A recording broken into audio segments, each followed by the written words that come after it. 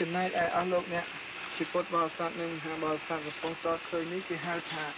វិមានរបស់ព្រះម៉ែធរណីអស់លោកអ្នកជាពុទ្ធបរិស័ទនិងមហាបរិស័ទទាំងឡាយវិមានព្រះម៉ែធរណីនេះគឺជាកន្លែងព្រះម៉ែធរណីដែលទ្រង់ធ្វើធម៌នៅក្នុងទីនេះហើយទ្រង់បានសម្រេចនៅអ្នកផលជាព្រះ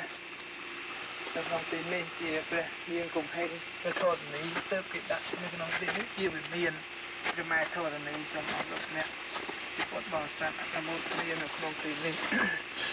វត្ថុស័ក្តិសិទ្ធិទាំងឡាយដែលលោកដែលនៅក្នុងទីនេះគឺជាច្រើនដែលតម្កល់ទុកក្នុងទីនេះ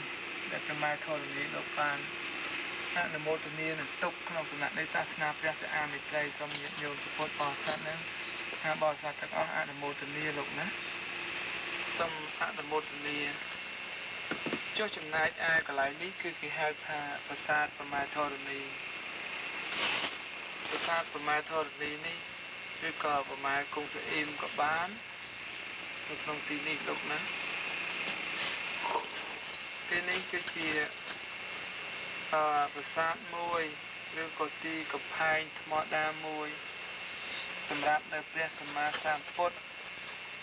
ទ្រង់ បំពេញនៅ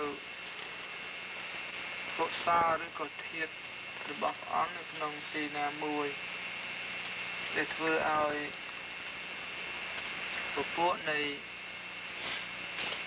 មនុស្សនិងទេវតាអាចអនុមោទនាយកបានញោមជាមហាបរិស័ទពុទ្ធបរិស័ទទាំងអស់នៅក្នុងទីដែលថ្មដោះនេះមិនមែនជា ជាលេងថេងទេគឺទេវតាទ្រង់និមិត្តទុកនៅក្នុងទីនេះដើម្បីទុកថ្វាយព្រះសម្មាសម្ពុទ្ធដែលព្រះអង្គទ្រង់ត្រាស់ដឹងនៅខាងក្រោយចឹងទីនេះគឺអាចនៅបានទៅត្រឹមក្នុងសំណាក់នៃសាសនាព្រះសម្មាសម្ពុទ្ធព្រះសិអាមិត្រីទៀត